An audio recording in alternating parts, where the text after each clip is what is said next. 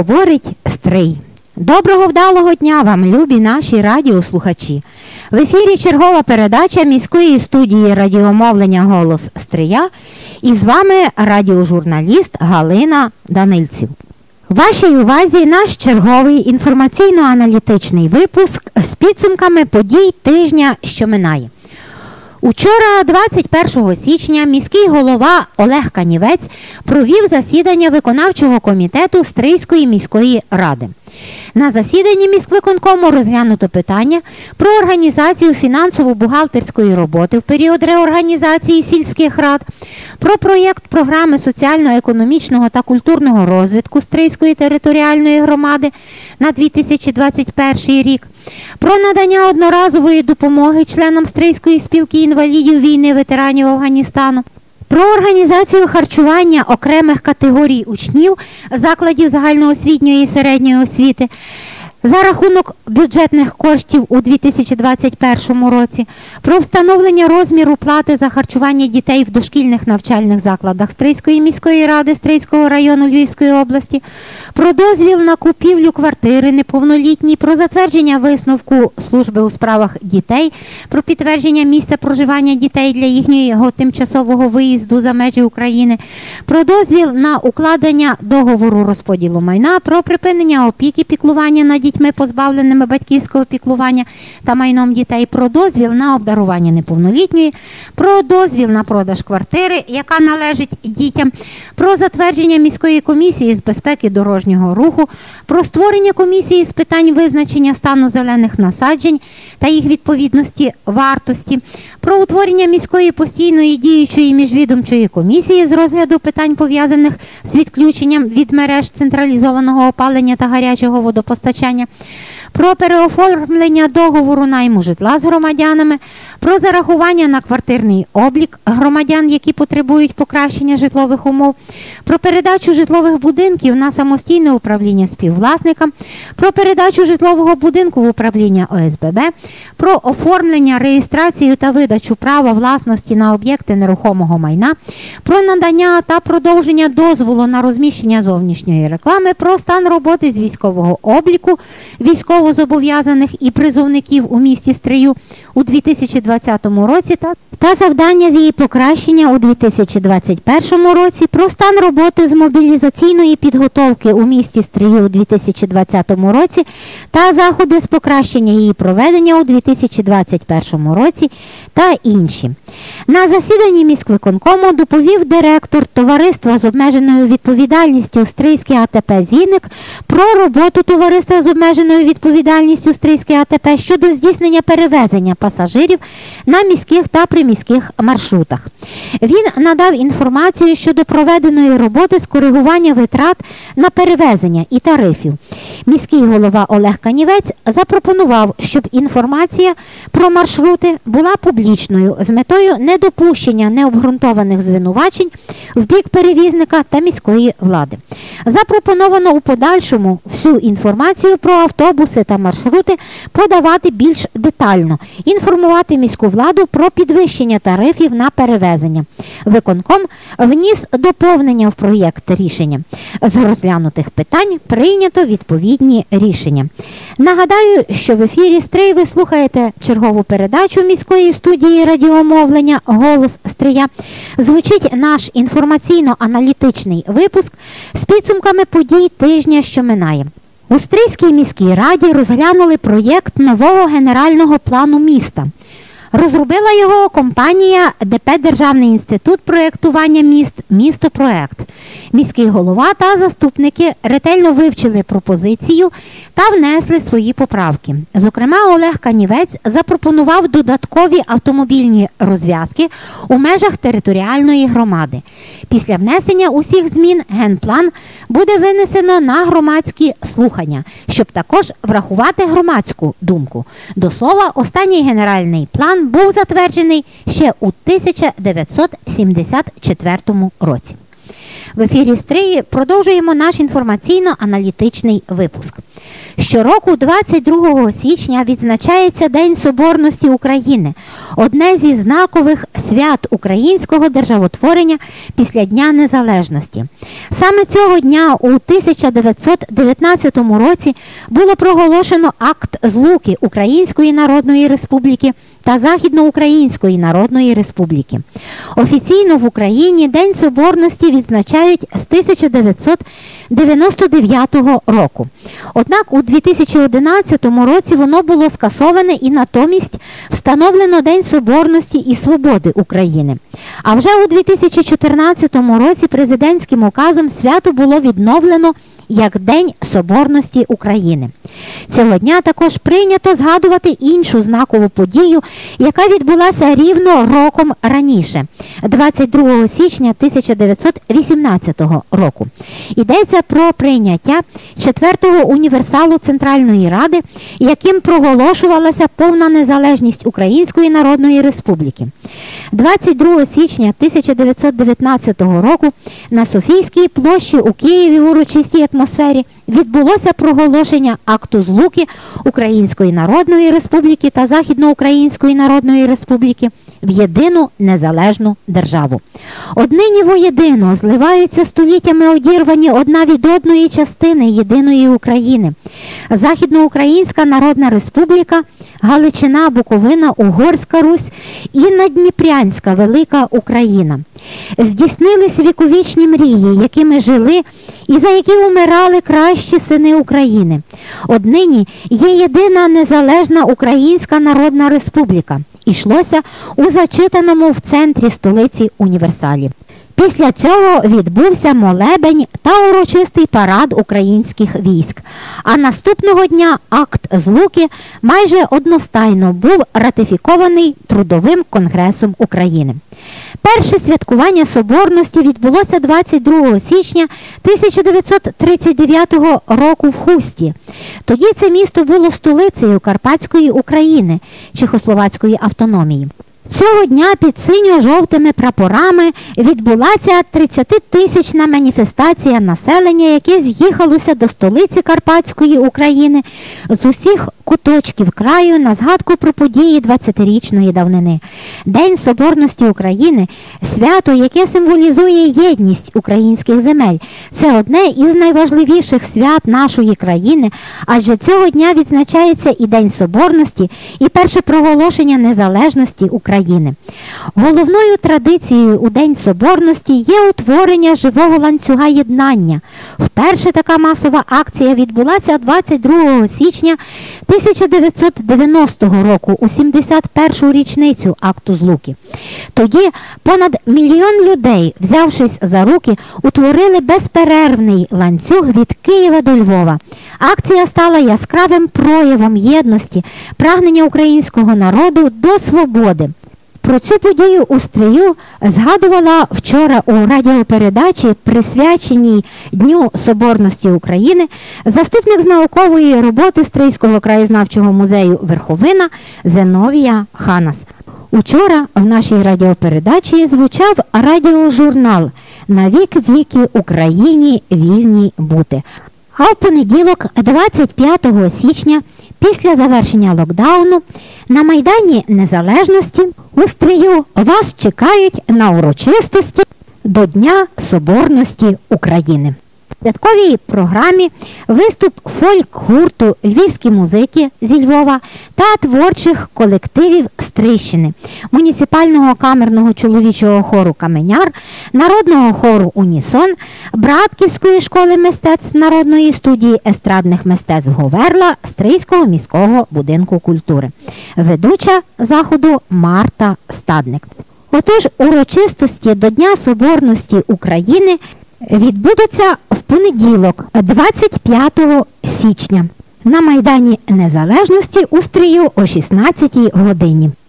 У святковій програмі виступ фольк-гурту Львівські музики зі Львова та творчих колективів Стрийщини, муніципального камерного чоловічого хору Каменяр, народного хору Унісон Братківської школи мистецтв, народної студії естрадних мистецтв Говерла Стрийського міського будинку культури, ведуча Марта Стадник.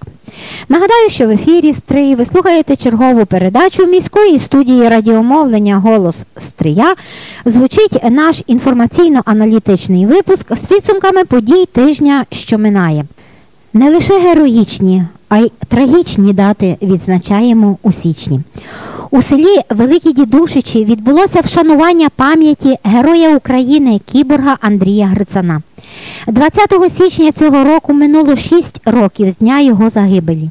Андрій Грицан служив солдатом 80-ї окремої аеромобільної бригади. Трагічно загинув під час оборони Донецького аеропорту. 20 січня 2021 року у селі Великій Дідушичі на могилі кіборга Андрія Грицяна відслужили панахиду. На могилу героя вшанувати пам'ять, запалити лампадки, покласти квіти прийшли односельчани, матері загиблих героїв ветерани російсько-української війни, члени спілки учасників АТО Стрийщини, голова Стрийської ОТГ Олег Канівець, заступник голови Стрийської районної ради Михайло Галущак, староста Ігор Бардин. Присутні вшанували пам'ять героя. Нагадаємо, що сам Андрій Грицан народився 6 вересня 1991 року, а у 23 роки загинув за Україну. Залишилися мати Марія Грицан та молодша сестра Анна Грицан. Ми пам'ятаємо своїх героїв і схиляємо перед ними голови. В ефірі Стрий продовжуємо наш інформаційно-аналітичний випуск. 19 січня військовий капелан отець Юрій Лисишин здійснив велике йорданське водосвяття на одному з водойм для військовослужбовців, які виконують бойові завдання в зоні ООС. У своїй промові капелан подякував командуванню за організацію свята, розповів духовний аспект свята Богоявлення Господнього.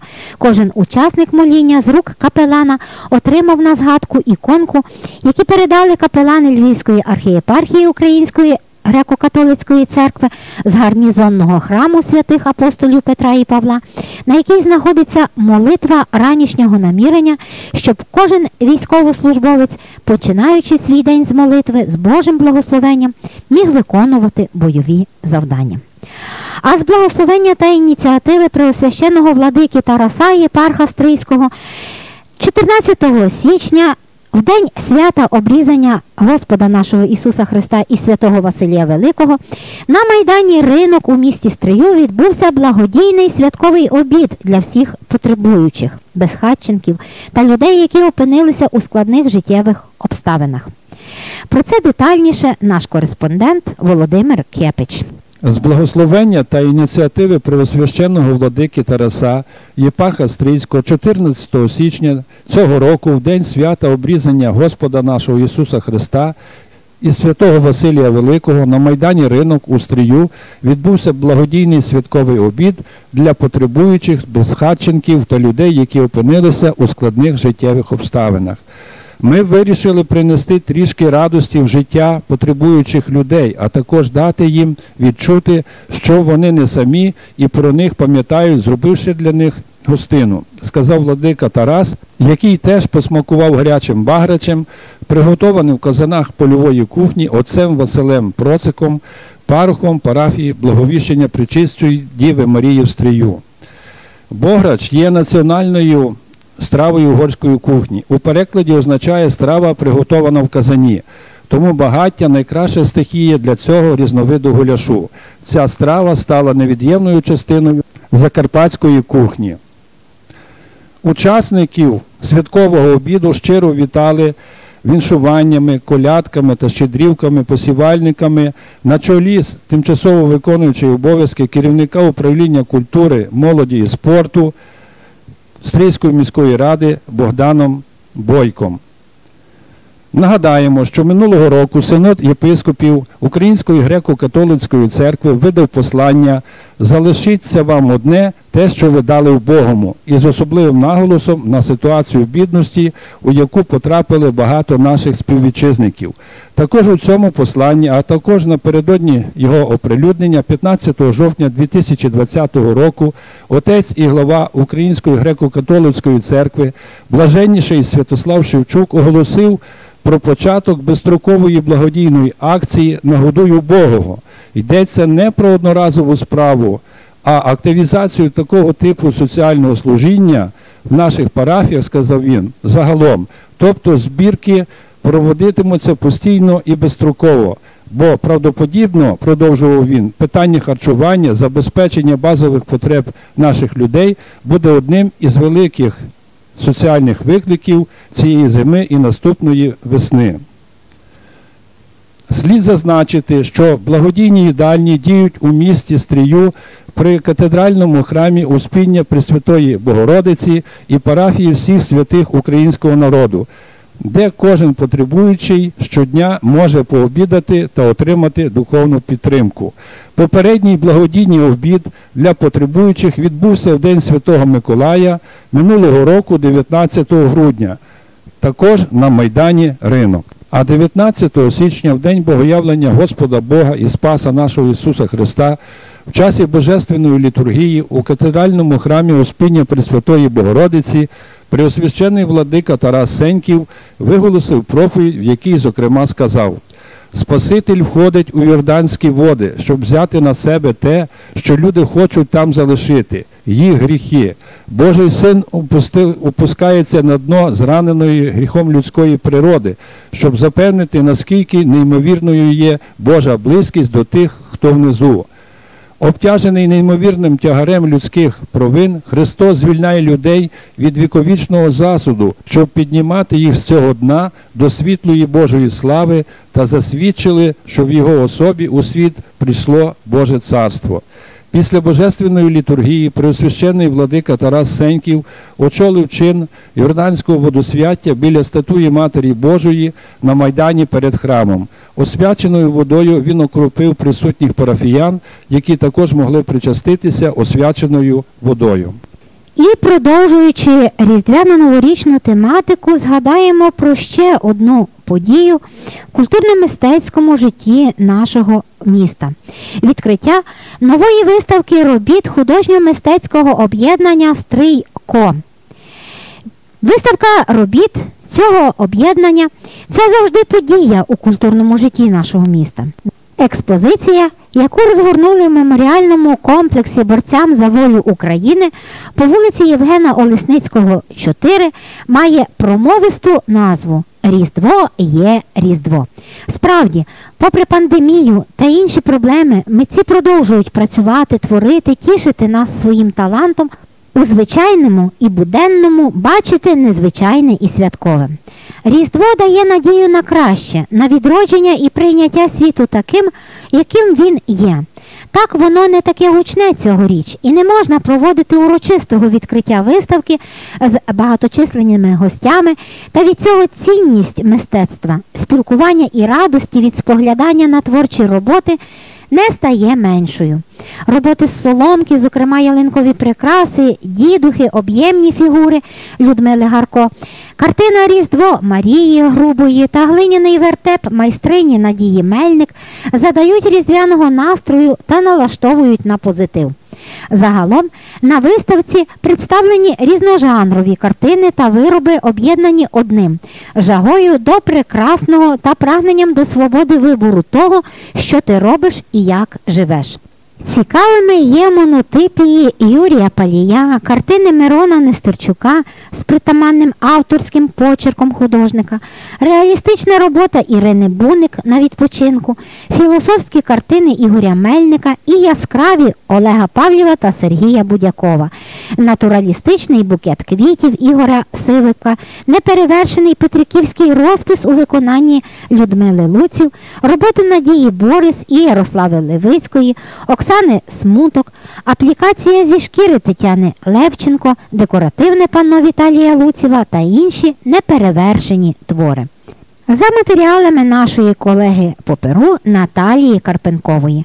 А нам залишається лише додати, що виставка продовжує діяти і запрошує її відвідати, звичайно ж, з дотриманням усіх карантинних заходів. Нагадуємо, виставка експонується в меморіальному комплексі борцям за волю України по вулиці Євгена Олесницького.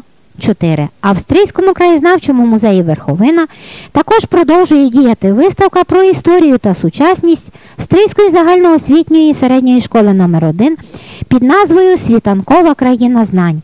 Будні і свята педагогічного колективу та учнів відображені в експонатах від форми одягу, портфелю до друкарської машинки і мікроскопів, світлини випускників різних поколінь, яким пощастило навчатися саме в цьому освітньому закладі, спортивні та мистецькі нагороди та велике різноманіття атрибутів школи представлено увазі відвідувачів виставки. Нагадаю, що в ефірі Стрий ви слухаєте чергову передачу міської студії радіомовлення Голос Стрия. Звучить наш інформаційно-аналітичний випуск з підсумками подій тижня, що минає. Управління соціального захисту населення Стрийської міської ради повідомляє про можливість оформлення житлових субсидій. Програма субсидій головний механізм соціального захисту людей в умовах підвищення цін і тарифів на житлово-комунальні послуги. Завдяки їй малозабезпечені громадяни оплачують не повну вартість житлово-комунальних послуг, а лише частину платежу, яка залежить від розміру середньомісячного сукупного доходу домогосподарства в розрахунку на одну особу. Що менші доходи домогосподарства, то меншою є частка обов'язкової плати за житлово-комунальні послуги. Для призначення субсидії особа подає до органу соціального захисту населення заяву про призначення та надання житлової субсидії у грошовій формі та декларацію про доходи і витрати осіб, які звернулися за призначенням житлової субсидії за встановленими формами. Ті домогосподарства, які раніше не користувалися субсидіями, але при зростанні витрат на комуналку їм складно оплачувати житлово-комунальні послуги, можуть звернутися за оформленням субсидії. Особисто до органу соціального захисту населення у містах обласного значення, дистанційно через веб-сайт Мінсоцполітики, заповнивши заяву і декларацію і відправивши її поштою до органу соціального захисту населення. Звертаємо увагу громадян, мешканців населених пунктів Стрийського району, що увійшли до складу Стрийської міської територіальної громади, що з 1 січня 2021 року заяви з необхідними для призначення субсидії документами приймаються. Управлінням соціального захисту населення Стрийської міської ради Стрийського району Львівської області та управлінням соціального захисту населення Стрийської районної державної адміністрації лише у разі надіслання їх поштою або в електронній формі через офіційний сайт Мінсоцполітики. Інформація про призначення житлової субсидії вноситься структурним підрозділом з питань соціального захисту населення до єдиного державного реєстру отримувачів житлових субсидій. Варто зазначити, що відповідно до постанови Кабінету міністрів України від 23 грудня 2020 року до середньомісячного сукупного доходу осіб, яким надаються державні допомоги, розмір призначеної їм житлової субсидії на оплату житлово-комунальних послуг враховуватися не буде. Це було офіційне повідомлення управління соціального захисту населення Стрийської міської ради. Дана інформація опублікована також на офіційному сайті Стрийської міської ради. Нагадаю, що в ефірі Стрий ви слухаєте черговий інформаційно-аналітичний випуск міської студії радіомовлення Голос Стрия з підсумками подій тижня, що минає.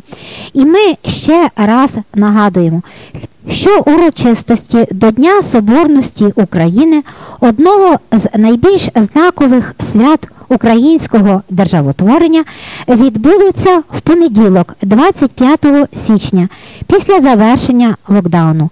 Вас чекають на святковий концерт на Майдані Незалежності у місті Стрию о 16 годині. У святковій програмі візьмуть участь фольк-гурт Львівські музики зі Львова та творчі колективи Стрищини, муніципальний камерний чоловічий хор Каменяр, народний хор Унісон Братківської школи мистецтв та народна студія естрадних мистецтв Говерла Стрийського міського будинку культури.